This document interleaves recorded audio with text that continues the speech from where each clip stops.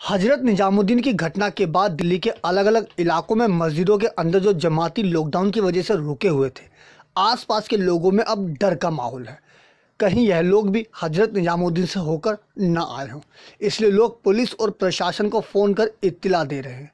जहांगीरपुरी के E block की मस्जिद में भी जब चौदह लोगों के रुके होने की जानकारी आसपास के लोगों को मिली तो ये लोग डर गए।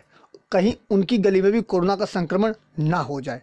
मस्जिद की कमेटी के मेंबर्स का कहना है कि ये सभी चौदह जमाती पश्चिम बंगाल के रहने वाले हैं और अलग अलग मस्जिदों में जाकर ये धर्म का प्रचार करते हुए इस मस्जिद में जब पहुँचे थे तो उसी बीच लॉकडाउन की घोषणा हो गई तो इन्हें यहीं रुकना पड़ा। वैसे भी इस तरह के जमाती कई दिन तक भी एक मस्जिद में रुकते हैं और वहीं पर मुस्लिम धर्म की शिक्षा देते हैं। उसके बाद ये अगले मस्जिद में पहुँचते हैं।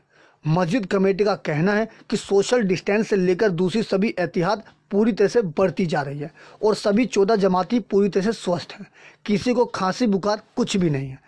लेकिन हज़रत निजामुद्दीन की घटना के बाद एरिया के लोगों में डर ज़रूर है। जहाँ भी बाहरी लोग रुके हुए हैं, वहाँ लोग उन्हें देखकर डरे हुए हैं और प्रशासन को उसकी सूचना दे रहे हैं।